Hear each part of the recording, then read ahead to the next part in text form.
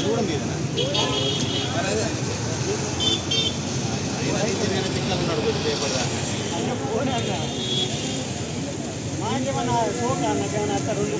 మాకేమన్నా soca దానివల్ల cancer అంతదయ్యా బాబు మాట్లాడు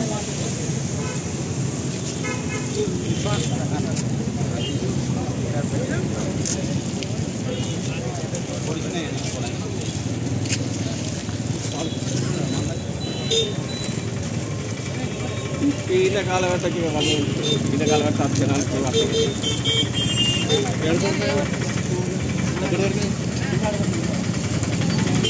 అదే వెళ్తే షాపులలో ప్లాస్టిక్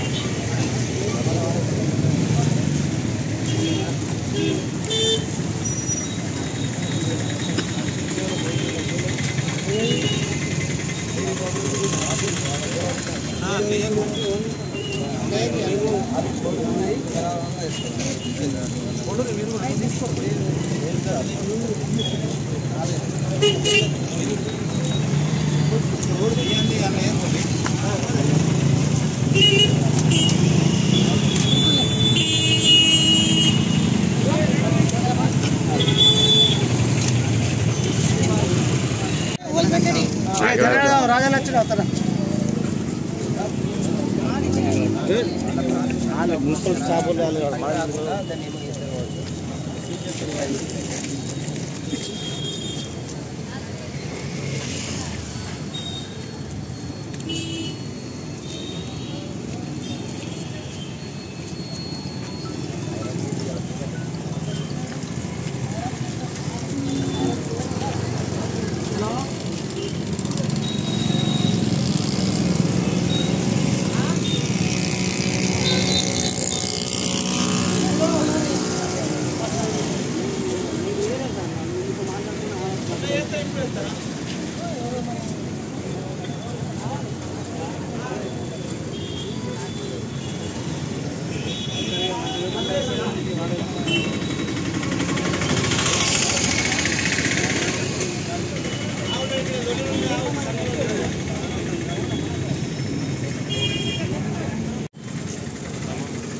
పట్టణంలోని వివిధ వ్యాపార సముదాయాల వారికి తెలియజేయడం దయచేసి డిసెంబర్ వరకు డెబ్బై ఐదు మైక్రాల కంటే తక్కువ మందం కలిగే ప్లాస్టిక్ కవర్లన్నీ కూడా ఈ పట్టణంలో మన తెలంగాణలో మన దేశంలో కూడా పూర్తిగా నిషేధం చేయబడ్డాయి.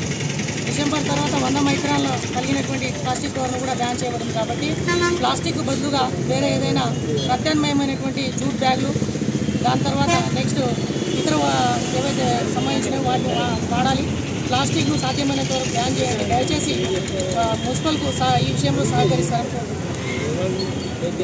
వాళ్ళ యజమానికి ఏమన్నా ఫైన్ ఎత్తుందా యజమానులుగా ప్లాస్టిక్ అమ్ముతుంది కదా.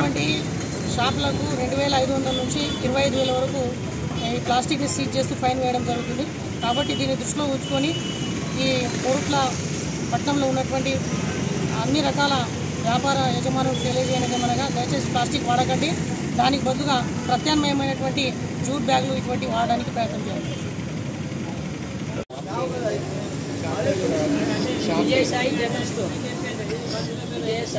General store. చెప్తాను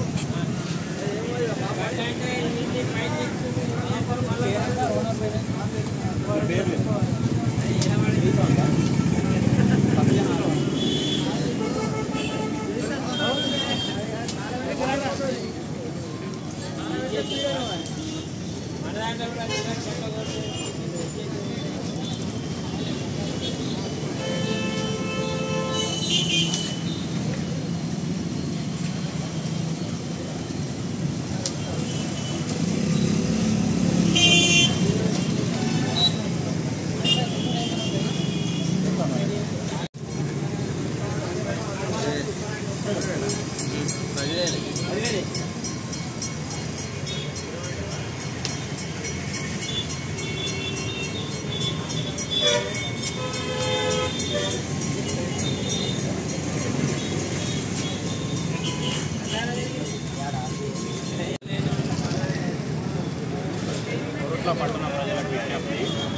కోరుట్ల పట్టణంలో సింగిల్ యూజ్ ప్లాస్టిక్ అనేది బ్యాన్ చేయడం జరిగింది.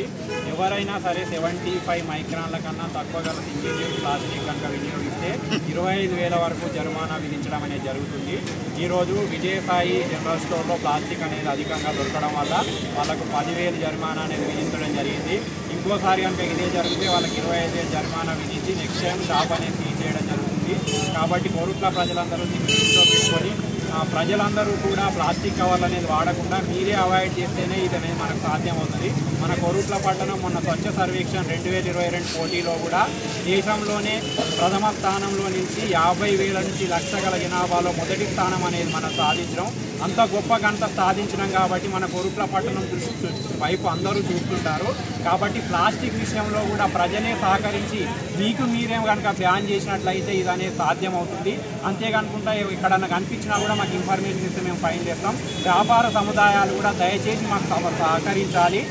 సహకరించి ప్లాస్టిక్ బదులుగా వేరే ప్రత్యామ్నాయం ఏదైనా దొరికితే దాన్ని వాడండి తప్పితే కానీ ప్లాస్టిక్ వాడకండి. ఇంకా ప్లాస్టిక్ ఎక్కడన్నా దొరికి దాడులు అనేవి జరుగుతుంటాయి కాబట్టి రైడింగ్స్ అనేవి జరుగుతాయి. రైడింగ్ జరగడం వల్ల మీకు ఫైన్స్ అనేవి పడతాయి. ఇంకొకసారి కానీ అట్నే జరిగితే షాప్ అనేది సీజ్ చేయడం పడుతుంది కాబట్టి వ్యాపార సముదాయాలు అనేది దృష్టిలో ఉంచుకొని ప్లాస్టిక్ అనేది వాడకుండా ఉండాలని కోరుకుంటున్నాం.